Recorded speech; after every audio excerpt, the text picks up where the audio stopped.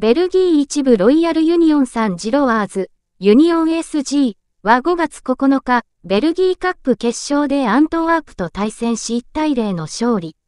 クラブ史上3度目の同カップ戦タイトルを獲得した。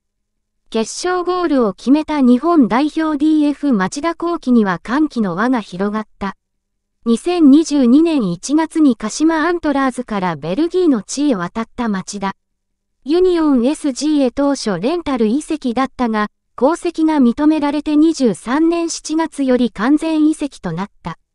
プレーオフを含め今季リーグ戦は29試合に出場。3バックの一角としてクラブの主力となっている。迎えた9日のカップ戦決勝。アントワープをホームに迎えた一戦は前半アディショナルタイム1分、右からのコーナーキックのチャンスでファーサイドに抜けてきたボールを町田が押し込み先制。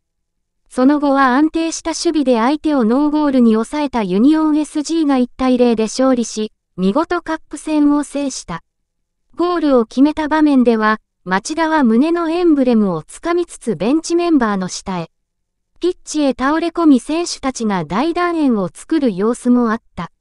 街ではサポーターの花火が上がり、大合唱が行われるシーンも。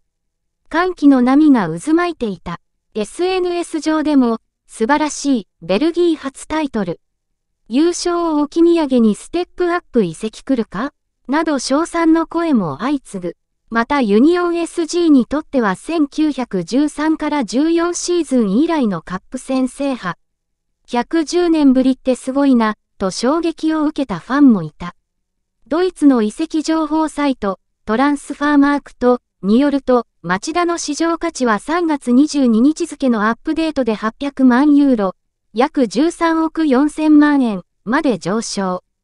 鹿島から移籍した当時、2022年1月、の100万ユーロ、約1億6000万円と比較すると大幅に上がっている。